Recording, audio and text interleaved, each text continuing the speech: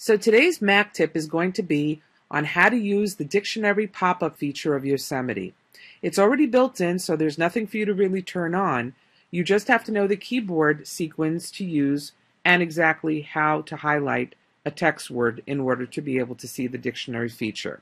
So first on this little keyboard that I have, uh, we have the control key, which is here, the command key, and the D key.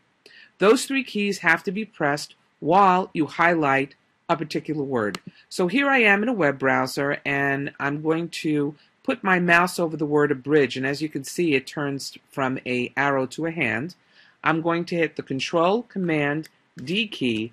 It will turn it yellow and a dictionary will pop up right then and there uh, which shows me the thesaurus version, the regular dictionary, uh, interpretation of it, as well as the Spanish English and the Wikipedia.